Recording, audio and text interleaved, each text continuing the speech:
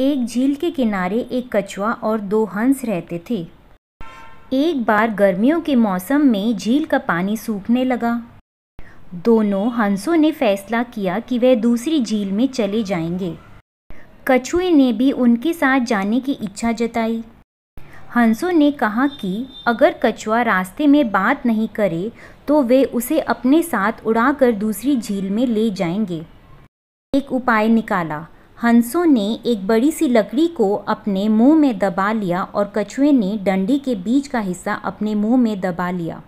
और इस प्रकार वे तीनों उड़कर दूसरी झील में जाने लगे। जब वह उड़ते उड़ते एक शहर के ऊपर से गुजर रहे थे तो लोगों ने कछुए को उड़ता देख कुछ व्यंग्य किया।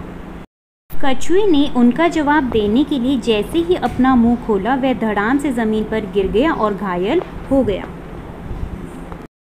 ऐसी ही सुंदर और रोमांचक कहानियाँ सुनने के लिए please like the video and subscribe my channel thank you bye